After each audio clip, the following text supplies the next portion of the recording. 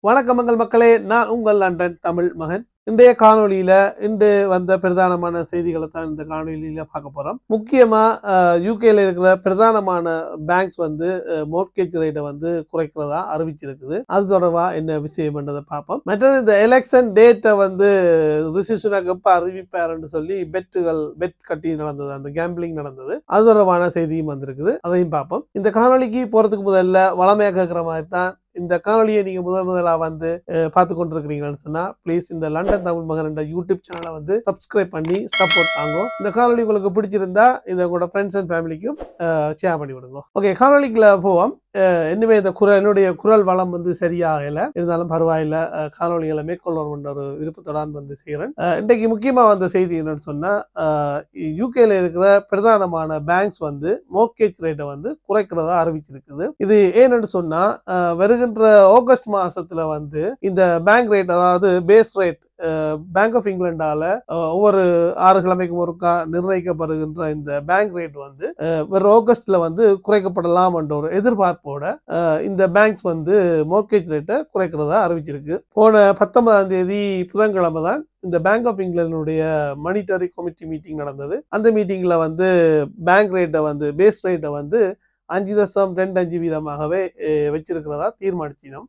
அதாவது தொடர்ச்சியாக ஏழு தடவை அந்த பேங்க் ரேட்டை வந்து தொடர்ச்சியாக தொடர்ச்சியா அதே அளவுல வச்சு கொண்டிருக்கணும் பேங்க் ஆஃப் இங்கிலாந்துடைய இம்ப்ளேஷன் டார்கெட் அதாவது பணவீக்கத்தின் டார்கெட் வந்து ரெண்டு விதத்துக்கு வர வேணும் என்று தான் அவன் டார்கெட் நான் போன ஆண்டின் ஒரு வீடியோவில் போட்டேன்னா அப்பைக்கு வந்து பணவீக்கம் பதினோரு வீதமாக போயிருந்தது.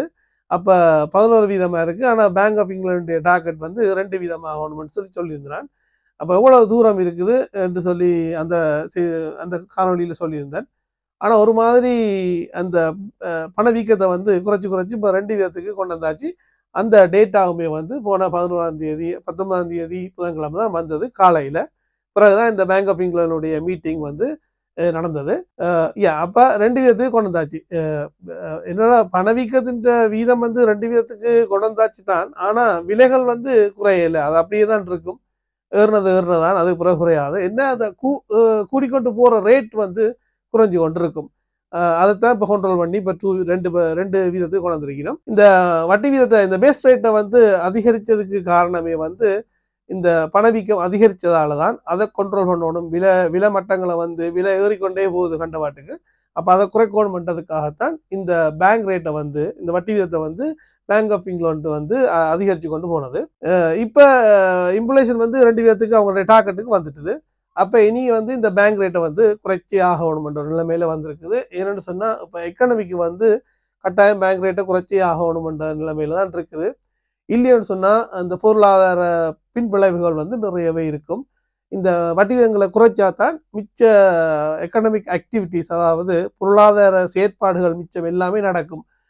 லோன் எடுக்கிறார்கள் லோன் எடுப்பினம் வீடு வாங்குறார்கள் வீடு எடுப்பினம். ஸோ அதனூடாக வியாபாரங்கள்லாம் நடந்து வேலைவாய்ப்புகள் நடந்து வேலைவாய்ப்புகள் எல்லாம் உருவாகி எல்லார்ட்டையும் வருமானங்க வர தொடங்கும். இல்லை இல்லை. அது நடக்காமல் இந்த மாதிரி வட்டி விகிதத்தை ஒரேடியாக வச்சிருந்தா ஒரு பலூனை உகுத உகுத என்ன செய்யுமோ வெடிக்கும். அதே மாதிரி தான் இந்த பொருளாதாரத்தில் பின்விளைவுகள் நிறைய வரும் அதனால எப்படியாச்சும் இந்த வட்டி வீதத்தை குறைச்சி ஆகணுமென்றதான் இப்போ எக்கனமிக்கு வந்து இந்த வட்டி வீதம் குறைச்சி ஆகணுமென்ற நிலைமையில இருக்குது. அப்போ இந்த கடந்த தடவையும் இந்த போன புதன்கிழமையும் வந்து அஞ்சு தசம் ரெண்டு வீதமாகவே அப்படியே வச்சிருக்கிறோம். இன்னும் குறைக்கல ஏன்னு சொன்னால் இன்ஃப்ளேஷன் ரெண்டு வீதம் வந்தாலுமே அவை குறைக்கல இதுக்கு ஒரு காரணம் என்ன சொல்லப்படுது என்று சொன்னால் இந்த எலெக்ஷன் காலப்பகுதியில் இந்த தேர்தல் காலப்பகுதியில் வந்து இந்த மாதிரியான முக்கியமான டிசிஷனை எடுக்கிற இல்லைன்னு சொன்னால் அது ஆளுங்கட்சிக்கு வந்து அதாவது கடைசி ஆண்ட கட்சிக்கு வந்து சாதகமாக போயிடும். அதையே ஒரு பிரச்சாரத்துக்கு அதை யூஸ் பண்ணிடும். அதாவது பார்த்தீங்களா எங்களோட நாங்கள் வட்டி விதத்தை கூட குறைச்சிட்டோம்னு சொல்லி பாவிப்பினோம். அதனால் இந்த மாதிரியான ஃபைனான்சியல் டிசிஷனை வந்து இந்த தேர்தல் கால பகுதியில் வந்து எடுக்கிறையில் அப்படியே ஹோல்ட் பண்ணி வச்சிருக்கிறதா? ஆனால் இன்ஃப்ளேஷன் ரேட்டை வந்து ஒன்றுமே செய்யலாது. ஏன்னு சொன்னால் அதை ஒவ்வொரு மாதமுமே கால்குலேட் பண்ணி வெளியிட வேணும். அந்த அடிப்படையில் தான் மே மாதத்துக்குரிய இன்ஃப்ளேஷனை கால்குலேட் பண்ணி ரெண்டு விதமாக வெளியிட்டவை. இது வந்து கன்சர்வேட்டிவ்க்கு ஒரு சாதகமாக போயிட்டுது. ஏன்னு சொன்னால் ரிசிசனக்கு வந்து இந்த கட்சியை பொறுப்பேற்க அஞ்சு முக்கியமான உறுதிமொழிகளை கொடுத்தவர். அதில் ஒன்று தாம் வந்து இந்த இன்ஃப்ளேஷனை கட்டுப்படுத்தி ரெண்டு விதத்துக்கு கொண்டு வருவேன் டார்கெட்டுக்கு கொண்டு வருவேன் என்று சொல்லி சொல்லியிருந்தார். அவர் அந்த அவருடைய உறுதிமொழி நிறைவேறின மாதிரி இப்போ அது ரெண்டு விதத்துக்கு வந்துட்டுது. இது வந்து இந்த கன்சர்வேட்டிவ் பார்ட்டிக்கு ரிஷி சுனக் அவர்களுக்கு இது வந்து ஒரு சாதகமாகவே அமைஞ்சிருக்கு. இந்த இன்ஃப்ளேஷன் ரேட் வந்து ரெண்டு விதத்துக்கு வந்தது. ரைட் இப்போ வந்து பேங்க் ஆஃப் இங்கிலாந்து வந்து ஹோல்ட் பண்ணி வச்சிருக்குது. அப்போ அடுத்த கட்டமாக ஒன்றுமே செய்யலாது. டார்கெட்டுக்கு வந்தபடியாக குறைச்சி ஆகணும்ன்ற அடிப்படையில் அடுத்த ஆகஸ்டில் எதிர்பார்க்கப்படுது. குறைச்சி ஆகணும் என்ற நிலைமையில். இதை அடிப்படையாக வச்சுக்கொண்டு தான் மூன்று பிரதானமான வங்கிகள் வந்து மோர்கேஜ் ரேட்டை வந்து குறைக்கிறதா தெரிவிச்சிருக்கு. இதில் முக்கியமாக நெட்வெஸ்ட் பேங்க் வந்து இப்போ போன புதன்கிழமை அறிவிச்சிட்டினம் வந்து தாங்கள் வந்து குறைக்கிறேன்னு சொல்லி அவங்க எவ்வளோத்தால் குறைச்சிருக்கிறாங்கன்னா சைபர் தசம் ஒன்று ஏழு வீதத்தால் மோர்கேஜ் ரேட்டை வந்து குறைக்கிறதா அறிவிச்சிருக்கிறோம். அவங்க தான் நம்ம யூகேலே வந்து லீடிங்கான மோர்கேஜ் வழங்குற பேங்காக இருக்குது. இன்றைக்கு பாக்லெஸ் வந்து அறிவிச்சிருக்குது. அவங்களோட ரேட் டைம் வந்து தாங்க குறைக்கிறேன்னு சொல்லி. இதில் வந்து பாக்லெஸ் வந்து குறைச்சிருக்கு என்ன மாதிரின்னு சொன்னால் ரெண்டு வருஷத்துக்கு பிக்ஸ்டா எவ்வளோ வட்டி வீதம்னு சொன்னால் அஞ்சு தசம் ஏழு ஆறில் இருந்து அஞ்சு தசம் நாலு எட்டாக குறைச்சிருக்குது அதே மாதிரி இன்னும் ஒரு பிளான் ஒன்று இருக்குது ரெண்டு வருஷ பிக்ஸ்டான மோட்கேஜ் ஒன்று. அது எந்த மாதிரி குறைச்சிருக்குன்னு சொன்னால் அஞ்சு தசம் ஒன்று மூன்று வீதத்தில் இருந்து நாலு தசம் எட்டு எட்டு வீதமாக குறைச்சிருக்குது அதே போல் அஞ்சு வருடத்துக்கு பிக்ஸ்டான மோர்கேஜ் ரேட்டை வந்து குறைச்சிருக்குது அது வந்து நாலு தசம் ஒன்பது சைபர் வீதத்தில் இருந்து நாலு தசம் எட்டு அஞ்சு வீதமாக குறைச்சிருக்கு. கிட்டத்தட்ட சைபர் தசம் சைபர் அஞ்சு வீதம் தான் குறைச்சிருக்குது. அது பாக்லெஸ் பேங்க் இன்றைய குறைச்சிருக்குது இதில் முக்கியமாக ஹெச்எஸ்பிசியும் வந்து தாங்கள் நாளைக்கு குறைக்கிறேன் அறிவிச்சிருக்கிறோம். அதுக்கான டீட்டெயில்ஸை வந்து அவை இன்னும் அறிவிக்கையில் நாளைக்கு அதை எதிர்பார்க்கலாம்.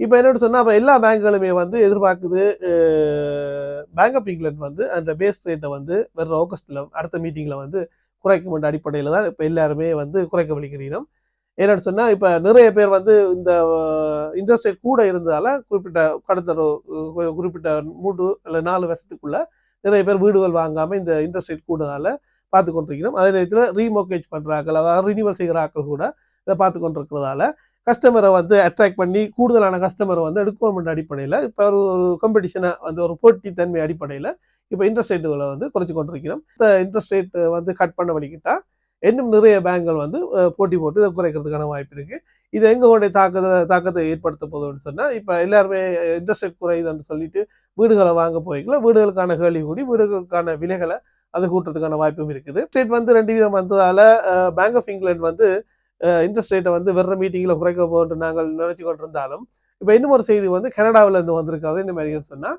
கனடாவிலையும் வந்து இன்ஃப்ளேஷன் வந்து நல்லா குறைஞ்சு கொண்டு வந்தது. ஆனால் இன்றைக்கு வந்த டியூஸ்டே வந்த தகவலின்படி என்னன்னு சொன்னால் கனடாவுடைய இன்ஃப்ளேஷன் அதாவது பணவீக்கம் வந்து ஏப்ரல் மாதத்தில் வந்து ரெண்டு தசம் ஏழு வீதமாக இருந்தது. மே மாதத்துக்கான டேட்டா தான் இன்றைக்கு வந்தது. அது வந்து ரெண்டு தசம் ஒன்பது ஆயிடுச்சு. அதாவது மாறி குறையும் என்று நினைச்சிருந்தவை ஆனால் பவுன்ஸ் ஆகி அது கூடிட்டுது. வர்ற ஜூலையில் கனடா வட்டி வீதத்தை குறைக்கும் என்று சொல்லி எதிர்பார்க்கப்பட்டிருந்தது. அதுக்கான வாய்ப்புகள் வந்து எழுபத்து எழுபது வீதமாக இருந்தது. ஆனால் இப்போ இன்ஃப்ளேஷன் மாறி வந்தோடனே இன்ஃப்ளேஷன் வந்து டக்குனு கூடினோடனே இப்போ அதுக்கான வாய்ப்பு வந்து ஃபோர்ட்டி ஃபைவ் பர்சன்டேஜ் இருக்காம் அதனால நாங்கள் இன்றைக்கு எங்களுக்கு யூகேல வந்து ரெண்டு வீதம் இன்ட்ரெஸ்ட் ரேட் ரெண்டு வீதம் இன்ஃப்ளேஷன் டாக்கெட் அடிச்சிட்டு என்று நாங்கள் மகிழ்ச்சியாக இருந்தாலும் இந்த ஜூன் மாதத்துக்கான டேட்டா வந்து ஜூலையில் தான் பெறப்போகுது சில நேரம் இன்ஃப்ளேஷன் வந்து கூடினாலும் கூடு கூடுறதுக்கான வாய்ப்பும் இருக்குது. அதை சொல்லி கொண்டு இல்லை அதனால் எதுவுமே எப்போவும் நடக்கலாம் ரெண்டாவது நான் பார்க்கணும். அவை கால்குலேட் பண்ணி சொல்லிடும். இதை நியூஸாக வருது. நான் உங்களுக்கு சொல்கிறேன் அவ்வளோதான் இருந்தாலுமே பேங்க் ஆஃப் இங்கிலாந்து வந்து இந்த பேஸ் ரேட்டை வந்து வட்டி வீதத்தை வந்து குறைக்கும் முதலே இந்த மேஜர் பேங்குகள் வந்து இன்ட்ரெஸ்ட் ரேட்டை குறைக்க வலிக்கிட்டது மோர்கேஜுக்கான இன்ட்ரெஸ்ட் ரேட்டை குறைக்க வலிக்கிட்டது போல்டான டிசிஷனாக தான் பார்க்கப்படுது. ஏன்னா பேங்குகளுக்கு இப்போ பொதுவாகவே இது தெரியும். அவை வந்து நட்டப்பட போகிறதில்ல அதனால் அவர்களுக்கான அவர்களுக்கு தெரிஞ்சிருக்கலாம் இன்ட்ரெஸ்ட் ரேட் எப்படி குறைக்கப்படும். ஏன்னா எக்கனமிக் வந்து எக்கனமி வந்து இப்போ இன்ட்ரெஸ்ட் ரேட்டை குறைச்சி ஆகணுமன்ற நிலைமையில தான் இருக்குது.